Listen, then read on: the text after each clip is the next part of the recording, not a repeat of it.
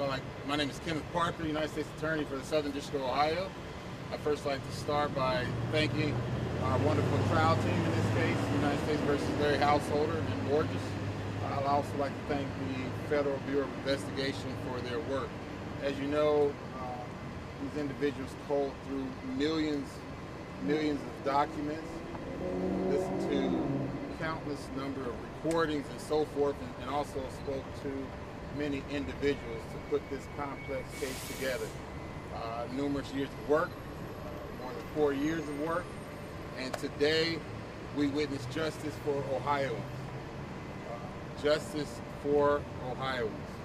It showed that if you're going to stand up and say that you're a public servant in this state, that you have to be a true public servant, not an imposter. All right, not an imposter. Uh, you you have to make sure that you're transparent. You have to have the highest level of integrity, and you have to be sure that you come to work every day, working for the people of this of this uh, state. You know, we heard uh, Mr. Householder indicate that he keeps close his faith, his family, and his friends. I would have added one more. He needs to keep close the Ohioans if he is going to serve this state. That's what he left out. That's why he was here today, and that's why this judge uh, imposed the highest level of accountability under the statute. We're grateful for the, the uh, judge's decision. We respect that.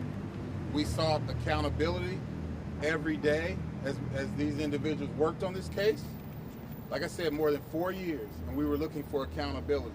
And today we believe that Mr. Householder received just that. The judge made a statement that he would not credit any of his time as a public servant because he did not serve as a public servant. Well, now he has a different level of service that he has to give to the people of Ohio. They've indicated that it would be difficult for him to give good deeds, but that's not true. He can, he can continue to do so. But as far as this case, we believe accountability was served, and we are very grateful for this uh, court's decision. And I am grateful for the trial team to which we have. And, and I told you a long time ago, we will be relentless. Whether or not there's one document or one million documents or whatever, I am confident that the people in this office will call through, will look for that information, will bring justice on, on their minds every day to work.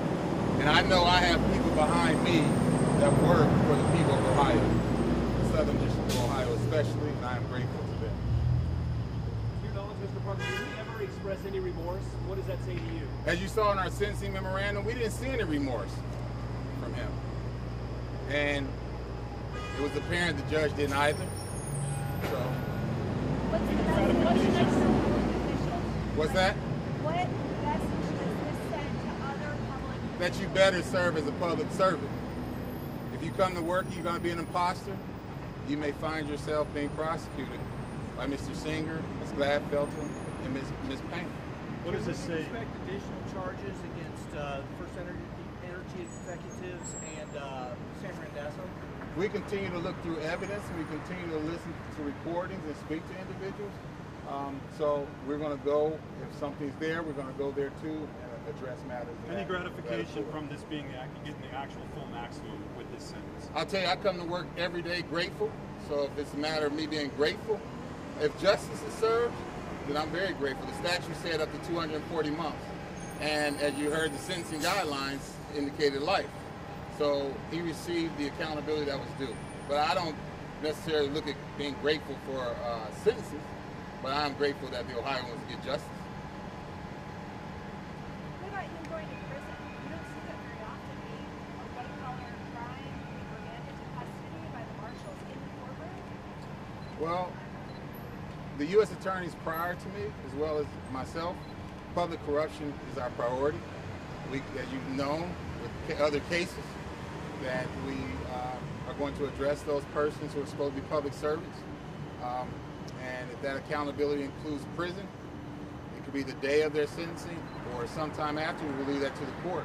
But that's just part of their story. What's your thought process going into tomorrow's uh, sentencing for Mr. Borges? Well, our thought process, process goes with our sentencing memorandum, what we asked for, and I'm confident that the uh, assistant U.S. attorneys will go in with that same accord, that vigilance that was shown today, to uh, make sure that the judge hears all the factors that set forth under the statute 3553A, the A factors, and uh, make sure he receives his due. The judge says, said a lot about deterrence, that, that this could be a deterrent. Do you think that this will send a message to anybody else thinking that they might get away with something like this? Well, one person I hope it sends a message to is Mr. Householder. Uh, as far as other persons and the general deterrence, um, I would hope that individual would receive that message. Do you think that Householder's appeal will have any merit in another court? I'm confident that we will be, we will be victorious on the field. Every, case is unique, Mr. Parker. What do you, but in today's climate, the message clearly Judge Black talked about, as did your colleague, the damage to democracy. Talk about that briefly, if you don't mind, because there's a lot of concern that politicians may feel like they can do things and the lack of accountability is a very real Right. possibility. Well, democracy is what we all stand for. And the tenets of democracy call for integrity, transparency, everything that you're supposed to hold high and dear. And so, if an individual believes that they can tread on that, they can step on democracy, then we'll address it. What- So what's the timing, what's the timing for when you're gonna go with the next step in the case? Um, I really don't speak to timing. It's not, we don't look at it in that regard. We look at our review of the evidence and what we should do at that particular time. How long do you think it's gonna take? Your review of the evidence?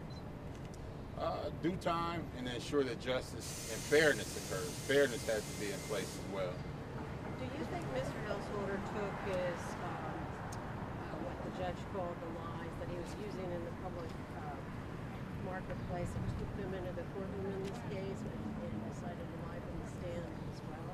Well, if you li- listen to the court, he had the, he had what, what I consider one of the best seats in the House. Mr. Householder, you know, every defendant has the right to take the stand and testify. That's their right.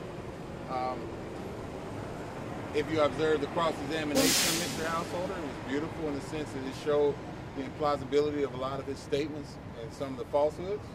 And the court uh, heard all that. If you heard the court today, uh, he indicated what he had heard and he saw it was his statements that they were lies.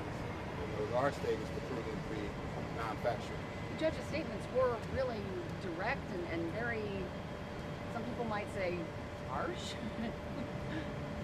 I well, a number of his statements were based on facts and recordings, so those may have come out harsh, but he was talking about how Mr. Householder looked at other people and his view of going to war, right? Uh, those were his words. Again, as I stated, we're going to go wherever the evidence recordings take us. Now, that takes us into a place where you hear harsh language, it's the harsh language of the defendant. And, and again, it goes to whether or not his statements today and his, view, his views on things are plausible.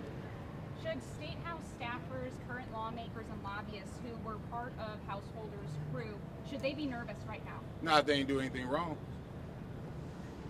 Let's take one more question, please. How about perjury?